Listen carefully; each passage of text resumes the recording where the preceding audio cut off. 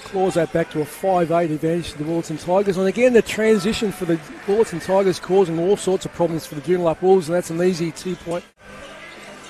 Finds Colin Mitchelton. I've liked his output uh, in the last couple of games. Very, uh, very handy there down court. Mitchelton going forward. Hunter Wade, Hunter Clark. Damien Scott from the corner drains that three-pointer, that Chambers Franklin three-pointer. Michael Vega from the three-point line. Rebound by uh, Jordan Wellsteed.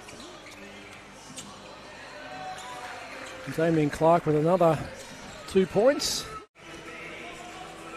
Finds Mitchelton. Scott at the line. Vega with the one-hander. Eventually gets in. They pull away again, Willetton.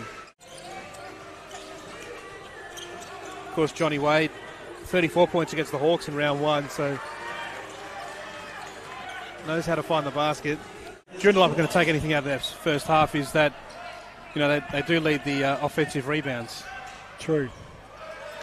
There's a good start there by Damien Scott and the Willetton Tigers.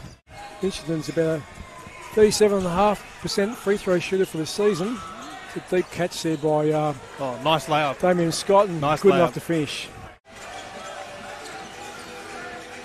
Scott trying to find a way in. That's a Couldn't super brush tough, past Maxwell. super tough bucket there by Damien Scott. Scott and uh, Maxwell tussled at it. Scott draws in another two. Damien Scott high off the glass there.